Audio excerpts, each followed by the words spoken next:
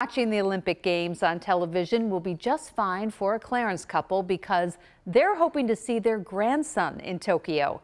And that grandson, he just graduated from high school. Our Steve Brown has the story. But is it soaked in that, you know, your grandson's potentially an Olympian at age 18? No. no.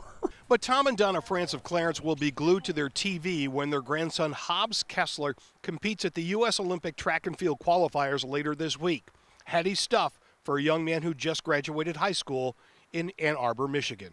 From the time he was an infant, he was his parents were always running and other people would come over and they'd go off running and so it was always a part of his life.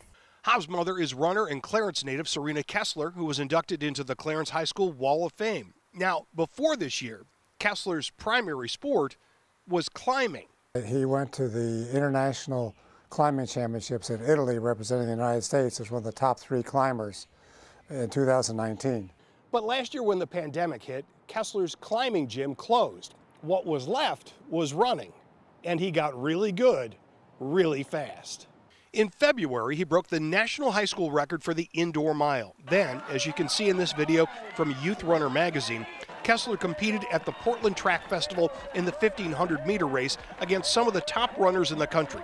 You'll see him emerge from the pack at the finish and quickly check his time. He smashed the high school record with a faster time than the current NCAA record. That time also earned him a spot at the Olympic qualifiers, an opportunity for this very talented teenager to make the U.S. track and field team.